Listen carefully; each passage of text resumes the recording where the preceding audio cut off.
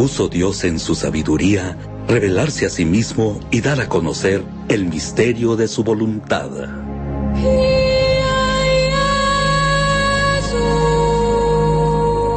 El Evangelio del Día, en voz de Monseñor Enrique Díaz, a través de Radio María, voz de esperanza. 16 de noviembre. Celebramos a Santa Margarita de Escocia y a Santa Gertrudis. Evangelio según San Lucas 18, 1 al 8. En aquel tiempo, para enseñar a sus discípulos la necesidad de orar siempre y sin desfallecer, Jesús les propuso esta parábola. En cierta ciudad había un juez que no temía a Dios ni respetaba a los hombres.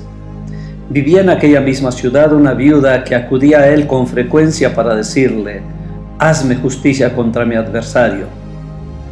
Por mucho tiempo el juez no le hizo caso, pero después se dijo, aunque no temo a Dios ni respeto a los hombres, sin embargo, por la insistencia de esta viuda, voy a hacerle justicia para que no me siga molestando. Dicho esto, Jesús comentó, si así pensaba el juez injusto, ¿creen acaso que Dios no hará justicia a sus elegidos, que claman a Él día y noche, y que los hará esperar? Yo les digo que les hará justicia sin tardar. Pero cuando venga el Hijo del Hombre, ¿creen que encontrará fe sobre la tierra? Palabra del Señor. En los momentos difíciles de nuestra vida no estamos solos. Tenemos un Padre Dios que nos acompaña. Jesús insiste en que los discípulos han de orar, orar siempre, a todas horas, sin desfallecer.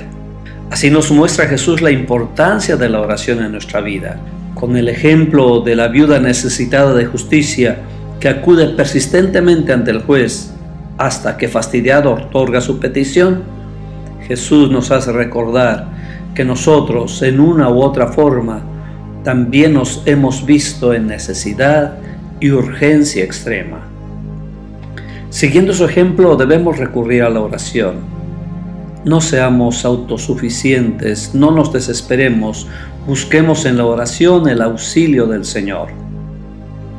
Cuando pedimos lo que en verdad es justo, tengamos la confianza de que lo lograremos y recibiremos respuesta. Este es un asunto de fe.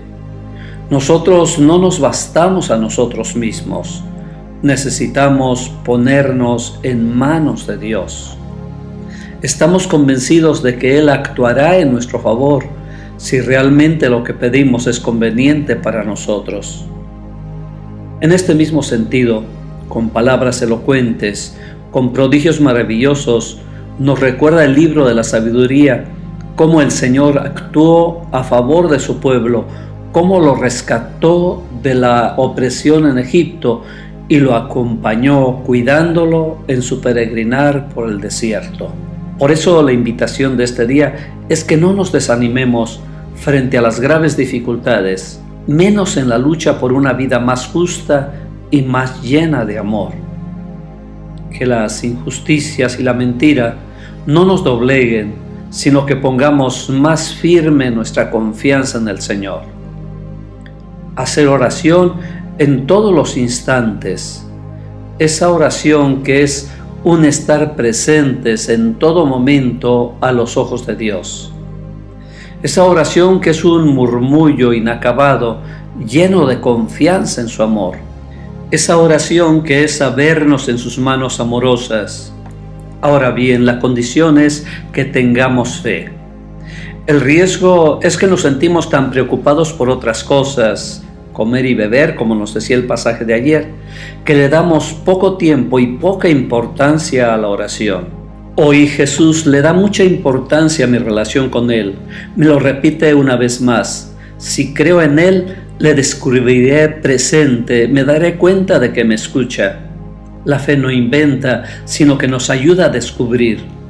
Que en este día descubramos esa presencia amorosa de Jesús junto a nosotros. El Señor te bendiga en nombre del Padre y del Hijo y del Espíritu Santo.